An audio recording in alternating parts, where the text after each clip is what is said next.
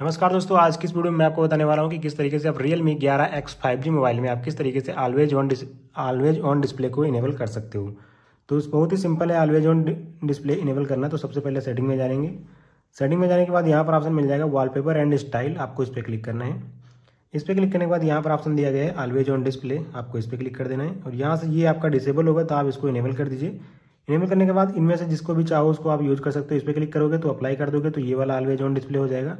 इस पर क्लिक करना है तो इसको क्लिक करके अप्लाई करना है तो ऑलवेज ऑन डिस्प्ले इस तरीके से हो जाएगा। तो यहाँ पर मैं आपको दिखा देता हूँ, ये देखिए ऑलवेज ऑन डिस्प्ले शो होने लग गया है। तो इस तरीके से आप यहाँ पर जो है ऑलवेज ऑन डिस्प्ले को इनेबल कर सकते हो।